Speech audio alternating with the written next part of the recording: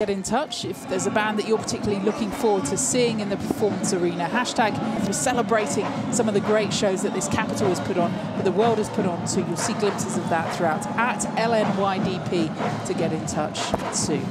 Just coming into focus, another of the, the marching bands. And you mentioned the cheerleaders too.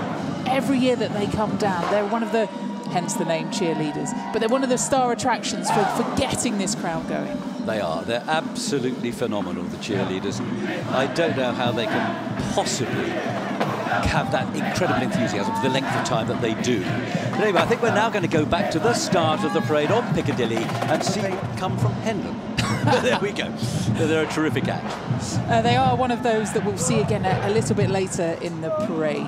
We've seen the, the Landaus as well, the Lord Mayor there following just behind the Deputy Lieutenant. The parade, of course, goes through the very heart of Westminster, and the Lord Mayor wanted to share his welcome message with us all.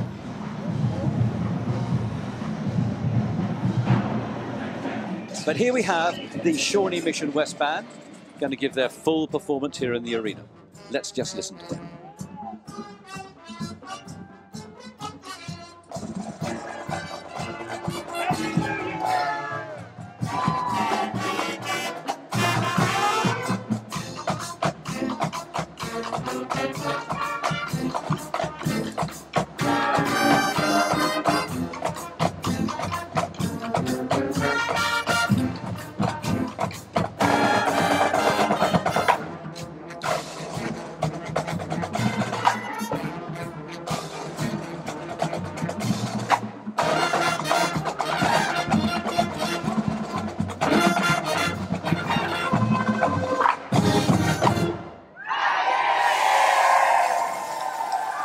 Oh, yeah, the confetti brilliant. goes off. Yeah, simply brilliant. Shawnee Mission West High School Band under the direction of Bill Thomas.